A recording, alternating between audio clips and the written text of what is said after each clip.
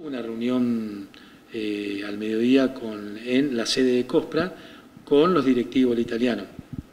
Y los 14 presidentes en forma unánime eh, presentamos nuestras inquietudes eh, sin dejar de lado la excelente calidad de prestación que tiene el italiano, que es innegable, evidente, pero tenemos algunas dificultades por los elevados costos.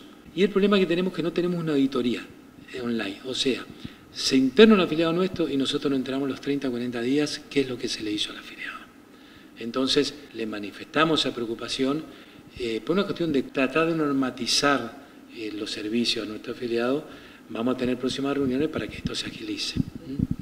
En la provincia, respecto de las prestaciones de los médicos, de los especialistas, ¿se ha ajustado el arancel? Sí, hemos tenido realmente una dirección, gracias a nuestro gobernador, que nos dio el apoyo de elevar eh, a un valor de consulta de 390 pesos a los médicos especialistas y realmente esto genera un compromiso mutuo. Y esto tiene que ver un poco con la, una, los motivos de queja más frecuentes de nuestro afiliado, que es el cobro de plus.